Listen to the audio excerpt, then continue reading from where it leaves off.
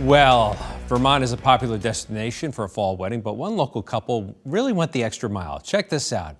Alicia and Crystal Blakely decided to hike Camel's Hump for their ceremony. That's just over 4,000 feet, by the way. Now, they weren't wearing your typical hiking boots. They scaled the mountain in their wedding dresses. Yes, the couple met 10 years ago as freshmen in college. Hiking has been an important part of their relationship.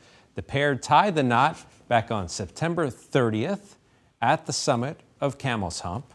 When asked if they had tips for couples who want to maybe follow their lead, the couple said to do some practice hikes and wear a lightweight dress. Well, first of all, congratulations to them. Yes. Great pictures, by the way. And they lucked out that they didn't do it this past oh, weekend and they Very chose the previous weekend because Yeah, the don't weather was much better. Don't think you would have been wearing a lightweight dress up Camel's Hump in the past couple of days.